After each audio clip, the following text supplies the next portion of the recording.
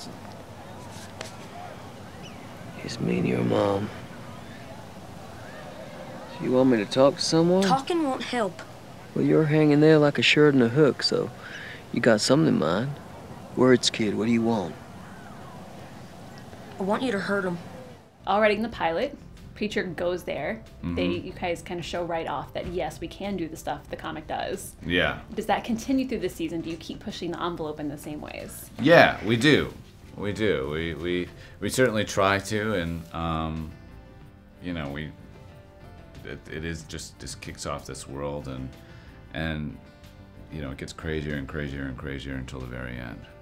Crazy is good. Crazy is entertaining. Well, crazy is preacher, so we sort of have to honor that. Yeah, well, I mean, it's end. I keep being reminded and keep reminding myself by looking back into the comics of the characters and what they do and are capable of doing to others. I think we can. I think we have. I think we've really.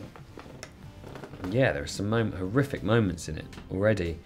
Um, the, the, you know, some of the brutality and what people are capable of doing to one another. I mean, it's. I th- yeah, you can go as far as the comics. I think. Sure there may be some restrictions. I mean, you can go with what you can see as in com- com- compared to what you can say is unbelievable. I've never quite understood that. Well, I've seen in a couple of instances that what they taketh away, they bringeth back in spades. Um, the Saint of Killers story has been necessarily compressed, uh, but some of the things that they've put in it uh, to compensate have shocked me.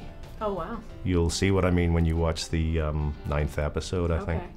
Something to look forward to. Mm -hmm. I mean, it's anything but safe. It's a very daring and different show, so anyone that's concerned that it's not going to push the envelope or be a watered down version, just wait. I was gonna say, it's just already- wait. It's getting there. Well, yeah, it's of, crazy. Like that, the things we, I mean, just based on what we've already seen, I can only imagine over the course without obviously giving something huge away. Like, what was the moment? Like, was there a, a moment where you're like, oh, like that really? I mean, there was a moment when I first read it that I thought this is unbelievable, and then uh, yeah, there's a very big moment that happens later in the season, but I can't talk about that. Oh, of course not. You can't spoil things.